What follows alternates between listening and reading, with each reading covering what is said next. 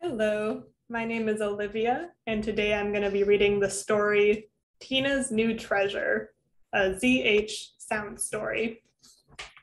Tina loves garage sales. She usually finds some treasures at them. One time, she got a really nice electric massager for only $5. She uses that all the time now when she's watching TV. Another time, she found an English language version of a book by her favorite Chinese author. That was a cool find. Today, she was out for a leisurely walk after dinner, and she came across a garage sale right in her own neighborhood. Her neighbor was selling a vintage map of Asia for only $3. What a steal!